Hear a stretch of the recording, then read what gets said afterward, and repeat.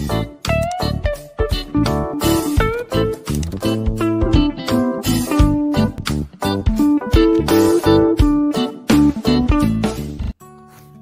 اليوم راح نديرو مع بعضنا سوب تاع جلبانة.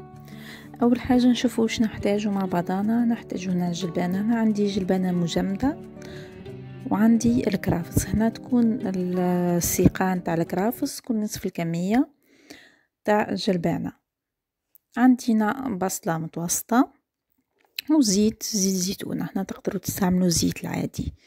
أول حاجة نقول بسم الله ونبدأ نحط شوية زيت ونزيد البصلة تاعي اللي مقطعة كما قاعدين تشوفوا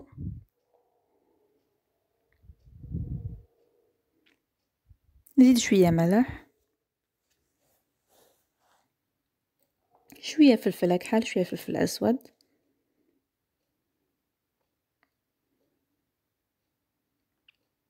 ونقلي مليح. هنا مهمة المرحلة هذه. نزيد الكرافس كما قلت لكم سيقان الكرافس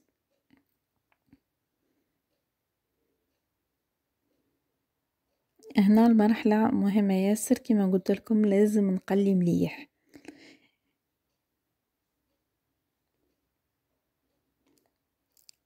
يعني التقلية تديلكم شوية وقت. بصح النتيجة راح تكون ملاحة. هنا مهمة كما قلت لكم باه ما تبقاش السيقان تاع الكرافس تجي فيهم كما نقولوا كي تبقى ما ترحاش مليح وما تتبالش مليح. هنا مهمة ياسر حتى نوصلوا للمرحلة هذه كما قاعدين تشوفوا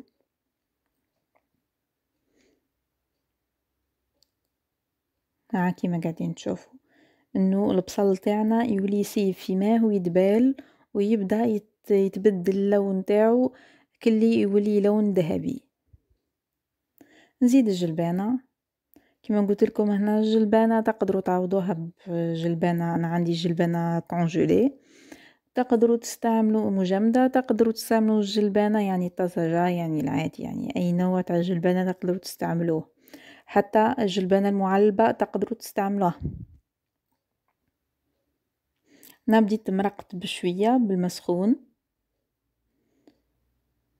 ونزيد نكمل كيف كيف نمرق بالمسخون كما قاعدين تشوفوا. هنا الماء لازم يكون ضعف. كما قاعدين تلاحظوا. هنا الجلبانة تاعي بدات تطيب. ما نغطيهاش يعني هذه حاجة بها يبقى اللون الأخضر تاع الجلبانه ما لازمش نغطيها. ها كيف هنا جاهزة طفيتها ونرحاها. نرحاها ونرجع لكم. هنا بعد ما رحيتها نخليها كيما إحنا نقولوا تدي غلوة برك ونطفيها ونشوفوها مع بعضانا في صحن التقديم. هنا الوصفة تاعنا واجدة إن شاء الله تعجبكم وتجربوها. وما تنسونيش بالإعجاب والاشتراك في القناة ونقولكم سلام إلى وصفات أخرى إن شاء الله.